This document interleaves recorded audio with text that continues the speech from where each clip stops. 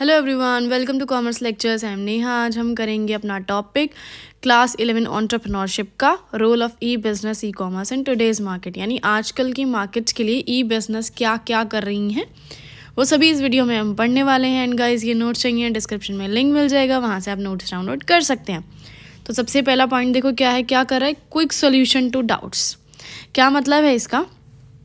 E business allows quick response to queries and doubts of customers यानी अगर आप ई business कर रहे हैं ऑनलाइन बिज़नेस कर रहे हैं, और आपके कस्टमर्स की कोई क्वेरी है, उनको कोई क्वेश्चन पूछना है, उनको कोई डाउट है, उनको कोई दुख परेशानी है तो आप क्विक रिस्पॉन्स यानी तुरंत उन्हें रिप्लाई दे सकते हैं। जैसे कि आपकी वेबसाइट पे एक कस्टमर गया, उसने आपसे क्वेश्चन पूछा और आपने उसे तुरंत वहीं पे रिप्लाई कर दिया ऑनलाइन ही।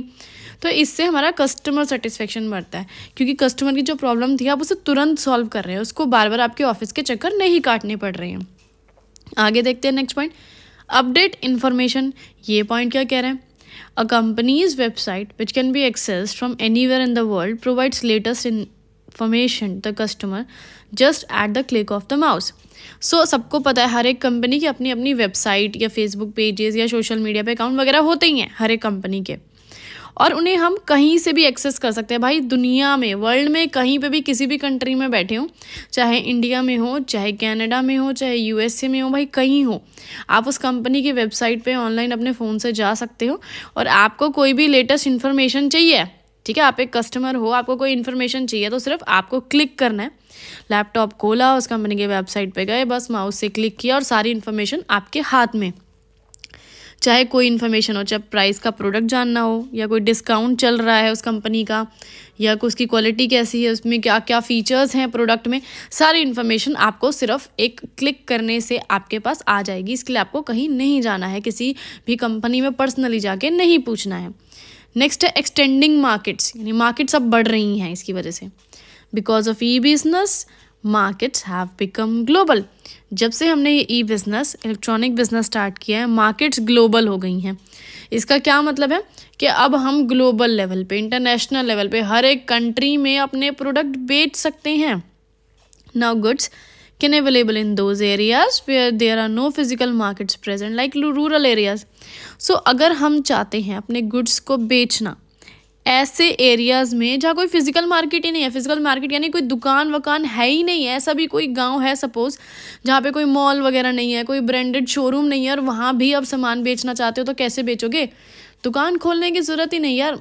ऑनलाइन कस्टमर्स को अट्रैक्ट करना है। कस्टमर्स ने ऑनलाइन खरीदने हैं और आपने डिलीवरी कर देनी है प्रोडक्ट की बात ख़त्म। चलो अब नेक्स्ट पॉइंट करते हैं। देखो नेक्स्ट पॉइंट क्या है? शॉर्टनिंग ऑफ़ डिस्ट्रीब्यूशन चैनल्स यानी अब डिस्ट्रीब्यूशन चैनल्स काफ़ी शॉर्ट कम होते जा रहे हैं। डिस्ट्रीब्यूशन चैनल्स क्या होते हैं? बीच के जो मिडल मैन होते हैं, जैसे होल सेलर्स रिटेलर्स अब इनकी ज़रूरत नहीं है अपने को। Because of e business producers have started having direct contact with customers which result in reduction of middleman in related cost so जब से ई बिज़नेस आया है, जो प्रोड्यूसर्स हैं, जो मैन्युफैक्चरर्स हैं, वो डायरेक्टली कंज्यूमर से ही डील करते हैं और इसकी वजह से मिडल मैन का रिडक्शन यानी मिडल मैन की ज़रूरत नहीं पड़ती है।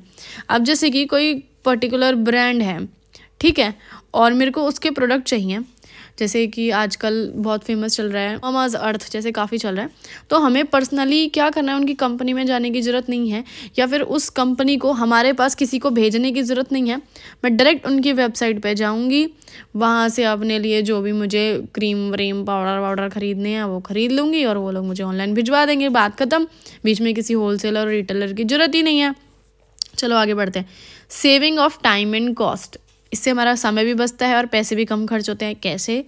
Consumers now do not have to physically visit the market to purchase goods अब कंज्यूमर्स को फिजिकली यानी पर्सनली खुद चलकर नहीं जाना है मार्केट अगर मुझे कोई गुड्स खरीदने हैं तो मुझे मार्केट नहीं जाना है कि मैं ट्रेन पकड़ूँ, मैं बस पकड़ूँ, मैं बाइक निकालूँ स्कूटी निकालूँ। नहीं, बिल्कुल नहीं।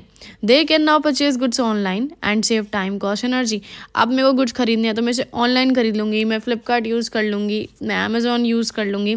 इससे मेरा टाइम बच जाएगा, क्योंकि जहाँ एक दो घंटे ट्रैवल करना पड़ेगा मुझे मार्केट में, वो ट्रैवलिंग टाइम बच जाएगा।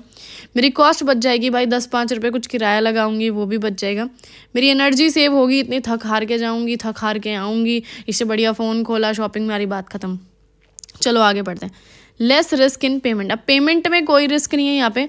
भाई, जैसे कि ऑफलाइन बिज़नेस होते हैं, अपने कोई दुकान पे, कोई यूँ होता है कि फटा हुआ नोट दे गया या कोई ऐसा नोट दे गया जो आगे चलता ही नहीं है, वो ख़राब है नोट या फिर नकली नोट दे गया। भाई, ऐसे बहुत रिस्क होते हैं जो ऑफलाइन पेमेंट होती है जिसमें। लेकिन ई बिज़नेस के केस में क्या है? अगर आप पेमेंट कर रहे हैं तो इंटरनेट पे कर रहे हैं ऑनलाइन कर रहे हैं डेबिट कार्ड से करो क्रेडिट कार्ड से करो, इससे जो रिस्क है ना कि आपके पास पैसा आ रहा है, वो कम हो जाएगा। क्योंकि देखो, सामने वाले ने मेरे बैंक अकाउंट में डायरेक्ट मुझे पैसा भिजवाया और मैंने यहाँ फ़ोन पे मैसेज पढ़ लिया कि मेरे पास जो है सौ रुपये, पाँच सौ रुपये जो भी है, मेरे अकाउंट में आ गए हैं। वो पैसा अब मेरा है, इसमें कोई टेंशन नहीं है कि वो नोट ख़राब है या नकली है, कोई टेंशन नहीं। तो ये रिस्क यहाँ बच जाता है। नेक्स्ट है easy to launch new products अगर आप नए प्रोडक्ट मार्केट में लेकर आ रहे हैं तो ऑनलाइन अगर उसे लेके आएँगे तो बहुत ज़्यादा ही आपको आसान होते हैं। चाहे कोई भी कंपनी हो, अगर वो चाहती है नया प्रोडक्ट लॉन्च करे अपना तो ई बिज़नेस के थ्रू आराम से लेके आती है। आपको बस कंपनी की अपनी वेबसाइट ऑनलाइन बनानी है, उसे प्रमोट करना है वेबसाइट को और लोगों तक ये बात पहुंचानी है, मेरा ये प्रोडक्ट आया है, इसे खरीदो और लोग इसे ऑनलाइन खरीदना शुरू कर देंगे। उसके लिए बहुत बड़ी फैक्ट्री वैक्ट्री ये सब बिल्डिंग खरीदने की दुकानें शोरूम खरीदने की ज़रूरत ही नहीं है। Mails catalogues photographs etcetera can help customers to understand product better आप अपने कस्टमर्स को क्या करो? मेल्स भेजो कैटलॉग्स भेजो फ़ोटोज़ भेजो प्रोडक्ट की, ताकि वो आपके प्रोडक्ट को देख सके, अच्छे से समझ पाएँ। लास्ट पॉइंट है लोअर पर्सनल कॉस्ट इसमें पर्सनल कॉस्ट काफ़ी कम लगती है। पर्सनल का मतलब है यहाँ पे जो एम्प्लॉयज़ को जो हायर करते हैं, उनको सैलरी देते हैं तो वो कॉस्ट नहीं है अभी इसमें। In business less number of personals are required because a single computer is good enough to do the job of many employees अगर आप ई बिज़नेस कर रहे हैं ऑनलाइन कर रहे हैं बिज़नेस तो आपको कम पर्सनल्स की ज़रूरत पड़ेगी, कम एम्प्लॉयज़ की ज़रूरत पड़ेगी। आपको एक सिंगल कंप्यूटर ही काफ़ी है कि वो बहुत सारे एम्प्लॉयज़ का काम अकेले कर लेता है क्विकली और बहुत जल्दी भी कर लेता है करेक्टली और बिल्कुल सही करता है। अब कैसे कम एम्प्लॉयज़ की ज़रूरत पड़ेगी? सपोज़ आपने एक शोरूम खोला, आपको उसमें एक गार्ड की ज़रूरत पड़ेगी, एक कैश काउंटर पर इंसान चाहिए होगा, कुछ सेल्समैन चाहिए होंगे, एक सफ़ाई वाला चाहिए होगा, ये सब चीज़ें चाहिए होंगी। लेकिन ऑनलाइन अगर आप बिज़नेस कर रहे हैं कंप्यूटर के थ्रू आपको कोई गार्ड की ज़रूरत नहीं फ़ोन में कोई घुस नहीं रहा। सेल्समैन की ज़रूरत नहीं, सिर्फ़ फ़ोटो डालनी है, अपने आप लोग आएँगे, फ़ोटोज़ देखेंगे, बात ख़त्म। ठीक है, कैश काउंटर की, के लिए कोई आदमी की ज़रूरत नहीं, क्योंकि सबने ऑनलाइन पेमेंट करनी है, डायरेक्ट आपके बैंक में पेमेंट जानी है, कोई टेंशन नहीं। तो कम एम्प्लॉयज़ की ज़रूरत पड़ेगी तो कम पैसे खर्च होंगे, इससे आपकी जो है कॉस्ट काफ़ी कम लगेगी। सर, ये वीडियो ख़त्म।